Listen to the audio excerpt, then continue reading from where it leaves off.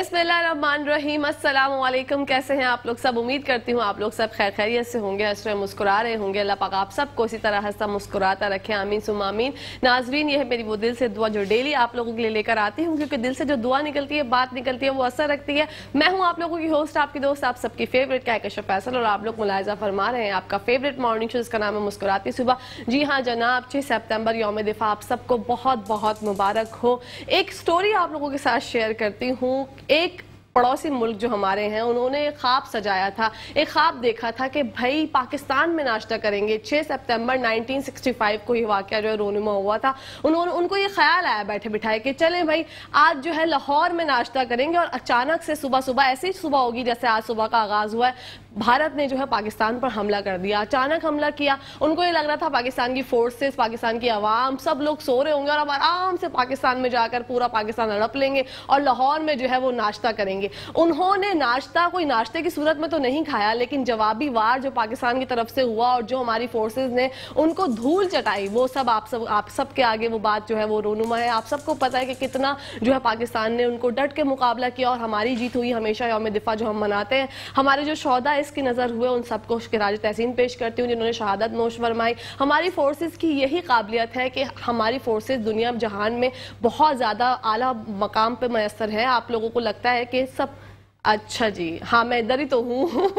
आप लोगों को ये लगता है कि हमारी फोर्सेस के बिना हमारा पाकिस्तान अधूरा है। तो मैं और आप सब मिलकर सल्यूट पेश करते हैं अपनी फोर्सेस को, क्योंकि इनके बगैर हमारा पाकिस्तान अधूरा है। इसी के साथ साथ जनाब पाकिस्तान जिंदाबाद एक दफ़ा ज़ोर से नारा लगाएँ, क्योंकि जब ऐसे दिन आते हैं ना, आपको जब ऐसी चीज़ें आती हैं, जैसे एक सितंबर हो गया, तेईस मार्च हो गया, इन दिन दिनों में हमारे जो खून है ना, वो बहुत जोश मारता है। अपने मुल्क से मोहब्बत जो है, वो इतनी ज़्यादा जो है रोनुमा हो जाती है और एकदम से निकल कर आती है। मेरे तो रोंगटे खड़े हो जाते हैं कि कितनी कुर्बानियाँ, कितनी चीज़ें जो है हम लोगों ने पाकिस्तान को हासिल करने के लिए अपनी कुर्बानियाँ दी हैं, अपने प्यारों की कुर्बानियाँ दी हैं। चौदह अगस्त को जब पाकिस्तान वजूद में आया था तो हम सबने मिलकर हमारे अबाव अजदाद ने मिलकर जो कुर्बानियाँ दी थी, पाकिस्तान को अपना माल, अपनी जान, सब कुछ वहाँ पर छोड़ के आ गए थे। तो जनाब, अपने मुल्क से प्यार किया करें, अपने मुल्क की कदर किया करें। यहाँ पर बैठ के हम लोग ये बातें तो करते हैं कि भाई, कुछ भी नहीं रखा, चलो बस, चलो चलो चलो। कभी कभी एक गुस्सा आ जाता है इंसान को, ये फितरी अमल है। लेकिन गुस्से को साइड पर रख के अगर आप इन सब चीज़ों को दोहराएँगे और सोचेंगे कि कितनी कुर्बानियाँ दी थी जब हमारा मुल्क वजूद में आया था तो आपको अपने मुल्क से प्यार हो जाएगा। और होना भी चाहिए, इतनी ज़्यादा आज़ादी और इतनी ज़्यादा फ्रीडम आपको कहीं पर नहीं मिलेगी। अगर आप कहीं दूसरे मुल्क जाके रहेंगे, वहाँ पर आपको बहुत सी फैसिलिटीज़ मिलेंगी। लेकिन जो अपने मुल्क का एक राज है ना, वो आपको मैसर नहीं होगा। वो सुकून आपको मैसर नहीं होगा। ये फिजा में भले कितनी गंदगी है, आप लोग कहते हैं कि गंदा है, ये है, वो है। लेकिन जो एक सुकून की जो सांस लेते हैं ना, वो हम, अल्हम्दुलिल्लाह आपको बोलना चाहिए, सबको बोलना चाहिए, इसी के साथ साथ अपने प्रोग्राम की जानब आप लोगों का ध्यान मतवजा करवाना चाहूँगी। आज का प्रोग्राम भी ज़बरदस्त है, आप लोगों के लिए अच्छा डिज़ाइन किया है कि आप लोगों का जो ना हशाश बशाश हो जाएँगे, आपको मज़ा आएगा हमारा प्रोग्राम देख के। हमारे जब जब ब्रेक के बाद जब हम लोग आएँगे तो किचन सेगमेंट में आपको लेके जाएँगे। भाई, भारत ने तो नाश्ता जो है वो लाहौर में नहीं किया था, लेकिन हम जो है शेफ नौरीन जो रेसिपी बनाएँगी, हम नाश्ते की सूरत में नोश फरमाएँगे और जलाएँगे पड़ोसी मुल्कों के। देखो भाई उन्नीस सौ पिछहत्तर से लेकर आज तक जो है आपका नाश्ता करने का जो ख्वाब था, वो ख्वाब ही रह गया और इनशाला ख्वाब ही रहेगा। इसी के साथ साथ हमारे प्रोग्राम में शाइक हमारे साथ मौजूद होंगे। उनसे जानेंगे एक्सरसाइज के हवाले से कि जो लोग मोटे हो रहे हैं, जिनकी टोंडे बाहर आ रही हैं कोलेस्ट्रॉल भी हो जाता है, बहुत सी बीमारी हो जाती है, मोटापे को किस तरह रिड्यूस कर सकते हैं, उनसे जानेंगे। उसके अलावा हमारे साथ दूसरे सेगमेंट में डॉक्टर आर के महमूद साहब होंगे, उनसे जानेंगे। उनसे जानेंगे पथरी के हवाले से कि पथरी क्यों हो जाती है, इसकी क्या क्या जो है डिज़ीज़ होती है और कितनी क्रिटिकल हो जाती जाती है, अगर इसको आपने सही टाइम पर रिमूव नहीं कराया क्या क्या इसके वजूद में आने के जो है आसार होते हैं और क्या क्या चीज़ें हैं जिससे हम उससे निजात हासिल कर सकते हैं? इसी के साथ साथ प्रोग्राम में ब्रेक का टाइम आ गया नाजीन तो कहीं जाएगा, मत देखते रहिए, मुस्कुराती सुबह हमारे साथ मुस्कुराते हुए।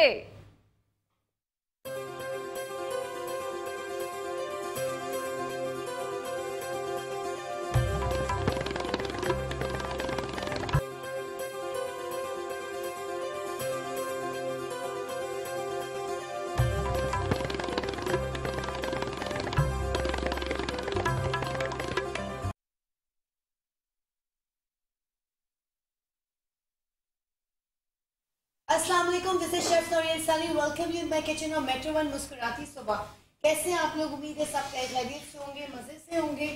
तो आज जो हम रेसिपी बनाने जा रहे हैं, वो एक ढाबा है। कल मैं एक डिनर पे गई थी। तो वहाँ पे हमने ढाबा ढाबा स्टाइल कढ़ाई मंगाया था। ढाबा स्टाइल एक करी मंगाई थी। तो it was so good it was so yummy कि मुझे इतना मज़े का लगा कि आपको पता है, मैं जहीं कहीं भी रेस्टोरेंट्स में जाती हूँ तो मैं सीधा इन चले, अभी हम रेसिपी बताए रहे थे, एक छोटी सी ब्रेक आ गई, कहीं जाइएगा नहीं, मिलते हैं छोटे से ब्रेक के बाद।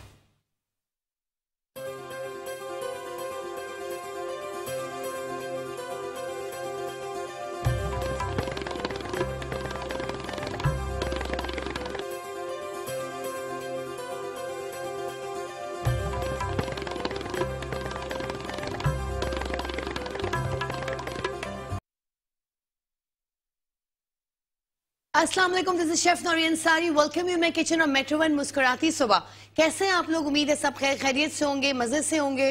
लेकिन आज का मौसम बहुत गर्मी है बहुत धूप है। जब मैं रास्ते में आ रही थी अपने घर से निकली थी तो उस वक्त थोड़ा सा पार्टली क्लाउडी था लेकिन अब तो ऐसी धूप निकल आई कि जैसे कहते हैं ना वो झिलमिल झिलमिल पूरा हो रहा है धूप की वजह से। लेकिन मुझे धूप का इतना मौसम पसंद नहीं है। मुझे थोड़ा पार्टली क्लाउडी पसंद है। लेकिन चले धूप भी बहुत ज़रूरी है हमारे लिए। बहुत यू you नो know, हम लोग को धूप भी कुछ मुल्क ऐसे होते हैं जहाँ पे धूप भी नहीं निकलती तो वहाँ के आप लोग स्किन देखा करें, लोगों की कैसी होती है, बिल्कुल ब्राउन ब्राउन स्पॉटेड स्किन होती है।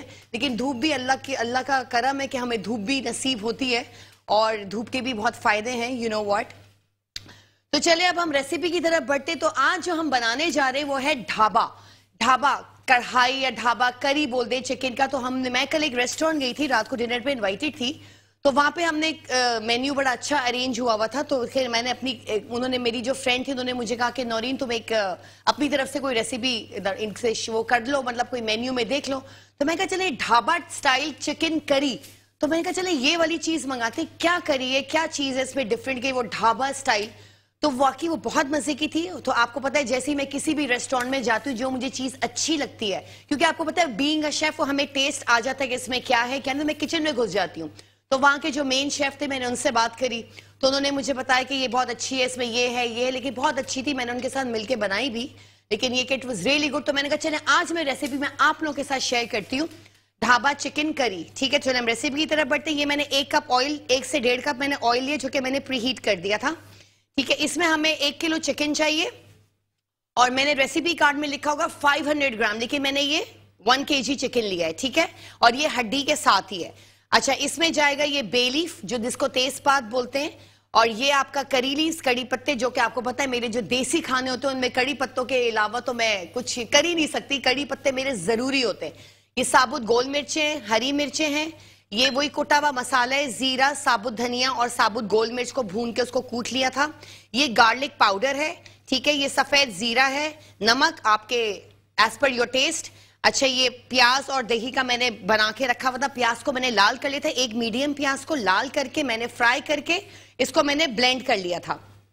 ठीक है? ये दो टमाटर इसमें जाएँगे जो कि ब्लेंडेड है, ब्लांच्ड एंड ब्लेंडेड। अच्छा इसमें धनिया पाउडर है, कुटी हुई लाल मिर्चें है, हल्दी का पाउडर है और ये गरम मसाला पाउडर है। ठीक है? चले हम रेसिपी की तरफ़ बढ़ते हैं। सबसे पहले हमने क्या करना है? ये थोड़ा सा डिफरेंट होगा। सबसे पहले हम इसमें डालेंगे साबुत गोल मिर्चें। ठीक है? ये जाएगा इसके अंदर जीरा और ये जाएगा इसके अंदर तेजपात। ठीक है? ये हम यहाँ से हटा देते हैं। इसको थोड़ा सा हमने ऑयल में वो करना है। अच्छा इसके साथ साथ हम इसमें डाल देंगे ये तीन से चार हरी मिर्चें। अच्छा मैंने बीच में से इसको स्लिट कर ली थी, वरना ये फुट फुट फुट फुट बोलता। अच्छा अब हम इसमें डालेंगे ये चिकन के पीसेज हैं, ठीक है? ये हड्डी के साथ लेने हैं। इसको थोड़ा सा हम इसके साथ फ्राई करेंगे।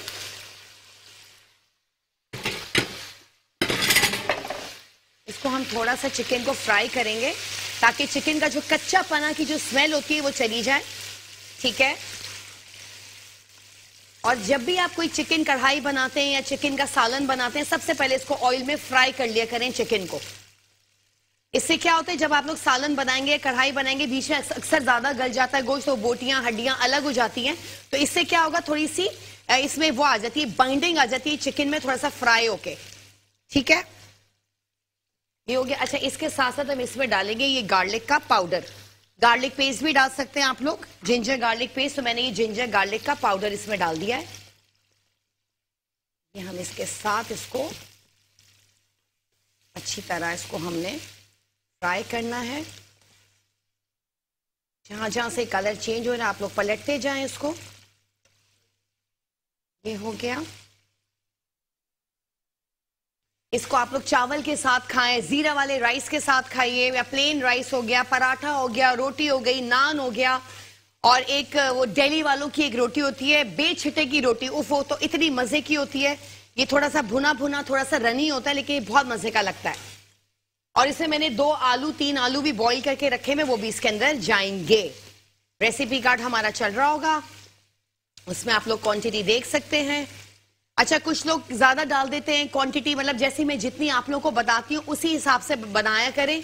क्योंकि अगर आप लोग ज़्यादा डाल देंगे, फिर मसाले में तेज़ी आ जाती फिर वो टेस्ट नहीं रहता। तो जो क्वांटिटी मैं आपको बताती हूँ, उसी हिसाब से आप लोग डाला करें अपनी चिकन में मटन में फ़िश में, जो भी है। अच्छा कल मैंने केले के चिप्स की रेसिपी बताई थी तो मेरी दो तीन फैंस हैं, वो मेरे पेज पे हैं कि शेफ हमने वो बनाना चिप्स बनाए थे, बहुत लजीज बने थे, बहुत क्रिस्पी बने थे, बहुत मज़े के बने थे। थैंक यू सो मच आप लोग फॉरन ट्राई कर लेते हैं। और ट्राई करना भी चाहिए, क्योंकि आप लोगों को भी तो आना चाहिए थी कि मुझे जब कच्चे केले मिल जाएँगे तो मैं भी आप लोगों के सामने बना लूँगी। अच्छा ये मैंने थोड़े से कड़ी पत्ते इसके अंदर डाले हैं। ये कड़ी पत्ते, एक पूरा बंच ठीक है? ये कड़ी पत्तों का गैस के अंदर। अब इसके साथ साथ मैं इसमें डालूँगी ये वो जो मैंने आपको बताया था, साबुत धनिया, जीरा और कुटी हुई वो साबुत गोल मिर्च, कुटा हुआ मसाला, ये इसमें जाएगा। ठीक है? ये लीमू का रस इसके अंदर जाएगा। अच्छा ये जो मैंने दही और प्याज का पीस के रखा था, ये इसके अंदर जाएगा। एक मैंने मीडियम प्याज ली थी और दही मैंने दो कप लिए थे। ठीक है? ये इसके अंदर जाएगा।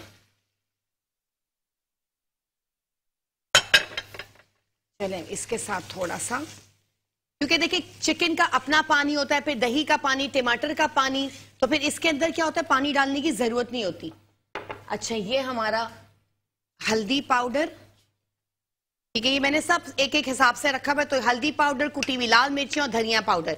ये इसके अंदर चला जाएगा। हम इसका फ्लेम फुल कर देते हैं। ये बहुत मज़े का चटपटा सा करी बनता है ढाबा स्टाइल का। अच्छा इसमें इन लोगों ने क्या किया था? कोयले का, आखिर में इसमें कोयले का धुआँ भी दिया था, लेकिन मैं कोयले का धुआँ नहीं दे रही। आप लोग आप लोग चाहते हैं तो आप लोग ऑप्शनल है, आप लोग दे सकते हैं इसमें कोयले का धुआँ। अच्छा इसके साथ साथ मैं इसमें डाल दूँगी ये टोमेटो। ये दो टमाटर हैं तो इसके साथ ये भी चले जाएँगे।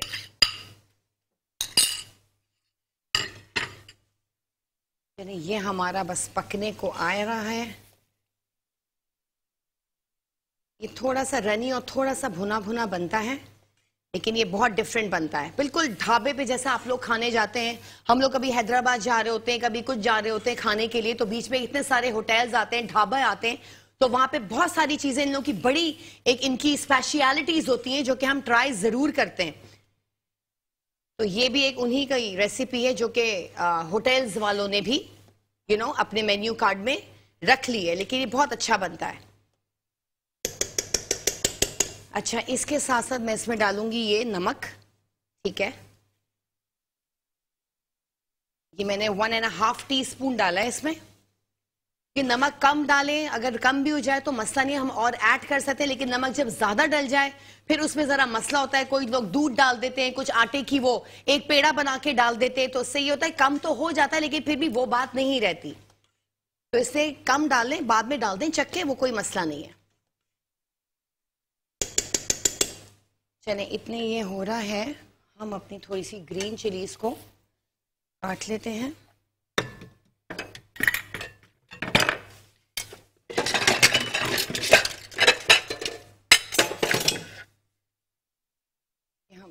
इसको ढक लेते हैं, ताकि थोड़ा जो चिकन है वो भी हमारा गल जाए साथ साथ अच्छा ये गरम मसाला पाउडर है, ये मैं एंड में डालूँगी जब मैं इसको सिमरिंग पे रखूँगी। ठीक है, ये कुछ हरी मिर्चें हैं, मैं इनको थोड़ा सा बीच में से स्लिट कर लेती हूँ। ये ट्राई ज़रूर कीजिएगा, ये बहुत डिफरेंट सी रेसिपी बनती है। ढाबा स्टाइल की रोज़ एक ही चिकन का सालन बन जाता है तो ये थोड़ा सा ये वाला भी ट्राई कीजिएगा, क्योंकि ये बहुत अच्छा डिफरेंट बनता है।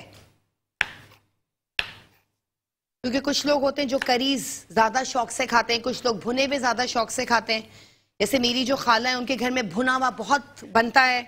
और मेरे घर में जो मेरी मम्मी है, हम लोग हैं, जो मेरे डैडी थे, अल्लाह मियाँ, उनको जन्नत नसीब करे, वो लोग, वो उनको शोरबा बहुत पसंद था। तो अक्सर हमारे यहाँ ज़्यादातर शोरबा ही बनता था। मतलब शोरबा बन गया, उसके साथ कोई शामी कबाब हो गए, दाल चावल हो गए, उसके साथ लीमू वाली प्याज हो गई, एक दो चटनियाँ हो गई यू नो बहुत डिफरेंट सा। तो शोरबा कुछ लोगों के यहाँ ज़्यादा होता है, हमारे यहाँ बहुत बनता था शोरबा। आलू गोश्त बन गया, आपका लौकी गोश्त बन गया, टिंडे गोश्त बन गया, और कभी टिंडे आलू का सालन है, कभी सिर्फ़ आलू का सालन बन गया, लेकिन सालन ज़रूरी होता था। चले ये हमारी ग्रीन चिलीज कट रही है तो ये भी हमारा चिकन भी इसमें थोड़ा सा गल जाएगा। मैंने आग बिल्कुल तेज की हुई है, फ्लेम हमारा बिल्कुल यू नो तेज है। थोड़ा इसमें चिकन भी गल जाएगा, इसमें टमाटर है, दही है और आपका चिकन का अपना पानी होता है, वो भी है तो सब उसके हिसाब से ये। जब ये भुनने की तरफ़ आएगा तो फिर मैं इसमें आलू ऐड कर दूँगी।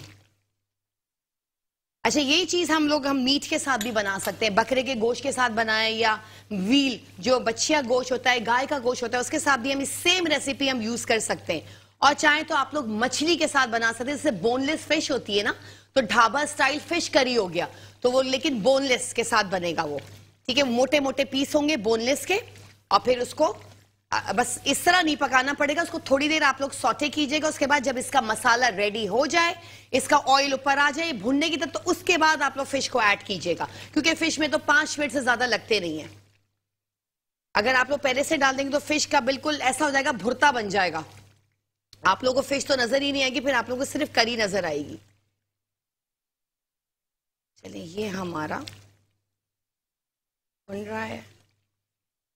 क्योंकि इसका अरोमा इतना अच्छा आ रहा है, क्योंकि इसमें दही है, टमाटर है, लीमू का रस है, कड़ी पत्ते हैं, जीरा है, साबुत गोल मिर्चे हैं, और आपका लहसन का अदरक का पाउडर है। लहसन, अदरक का पेस्ट भी आप लोग डाल सकते हैं, वो आप लोग पे एंटायरली अप टू यू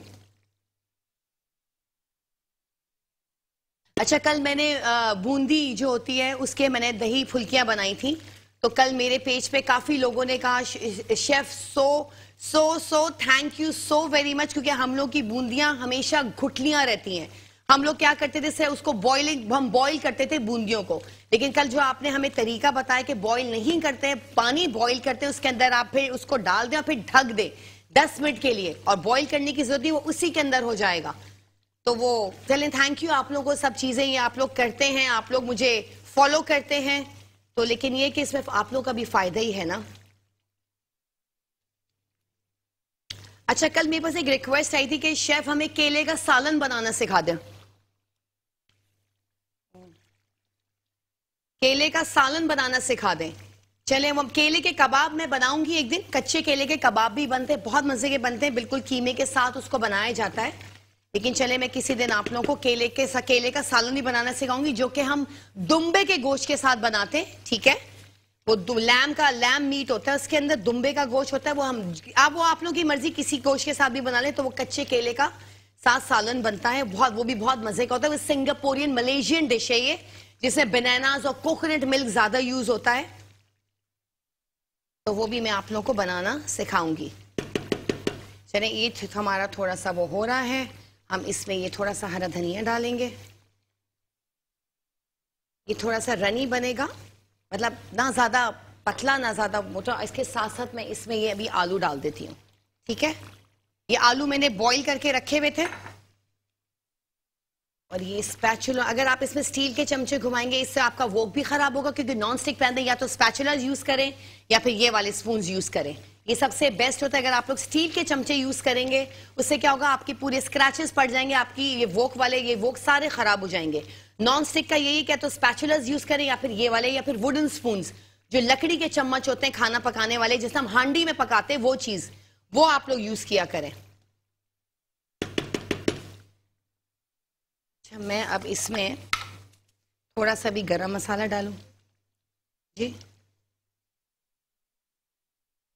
अच्छा।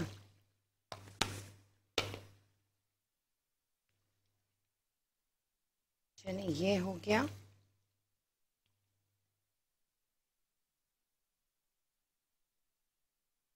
इस तरह से देखिए, हमने इसमें आलू डाल दिए।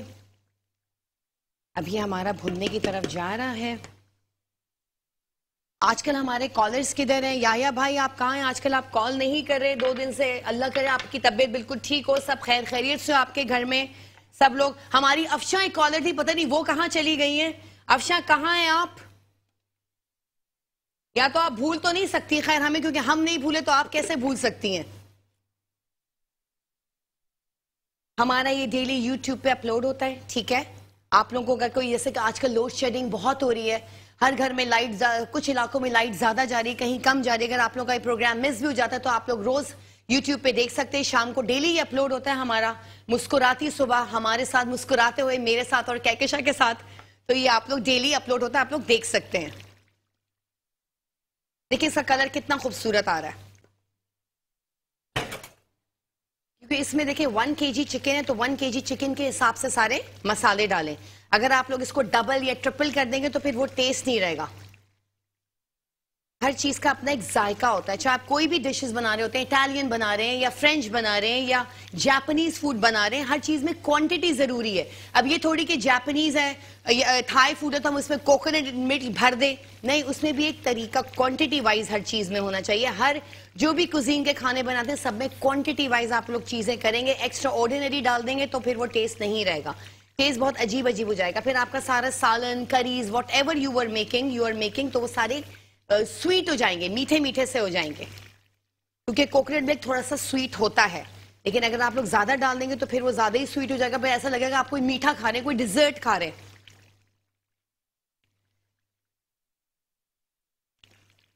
पाँच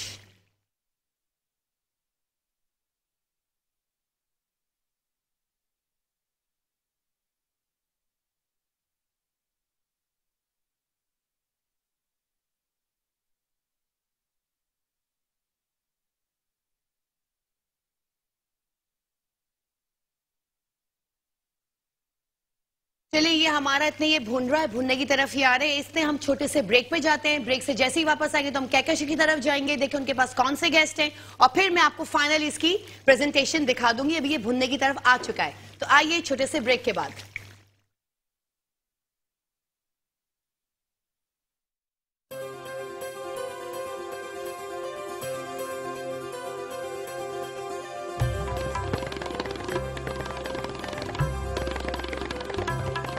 कैसी है? मैं ठीक ठाक। क्या क्या हमारी रेसिपी ऑलमोस्ट कंप्लीट हो गई है। अब मैं सिर्फ़ डिश आउट कर रही हूँ उसको। ठीक है। ठीक है हमारी रेसिपी कंप्लीट देखिए ना ये ज़्यादा गाढ़ा है ना ये ज़्यादा रनी है। ठीक है? चले हम ये सर्विंग की तरफ़ आ रहे हैं। ये हमारा dhaba style chicken curry ready है। वेरी नाइस माशाल्लाह। आपको अरोमा आ रहा होगा? बहुत ज़बरदस्त। पूरा सेट महक चुका है हमारा।